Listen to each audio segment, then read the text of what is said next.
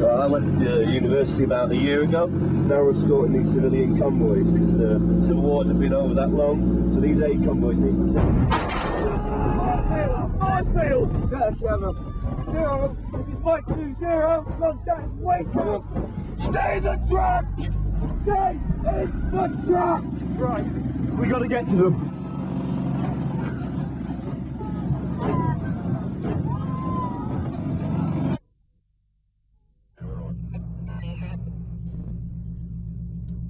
Oh, no.